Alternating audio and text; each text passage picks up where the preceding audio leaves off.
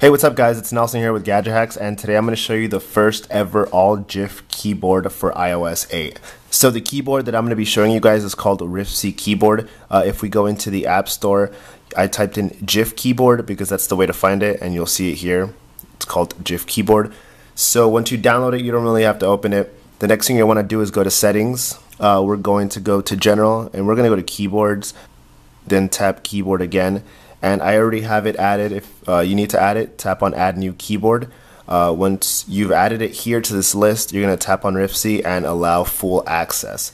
So once that's done, we can head over to messages. And here at the bottom, you'll see the GIF keyboard. I've already sent a few GIFs. Uh, there are different icons here. So if you tap on the first one, it'll show you uh, the GIFs that you've used.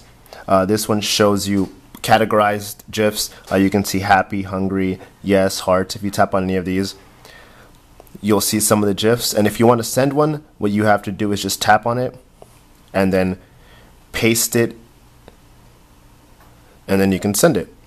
You can also look at trending GIFs, and you'll also find GIFs with little volume icons on the top left corner. These are actually videos. So let's say I tap on this one here on the volume icon.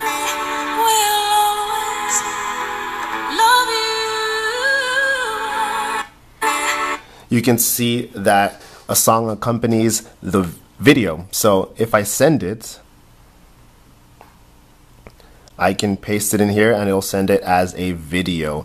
Uh, you can tap here on this icon to find music videos. They'll be either short or some of them will be kind of long. And if you want to search for your own, you can just type in here. And so type in something like cute and then press search and all of the cute GIFs will show up here.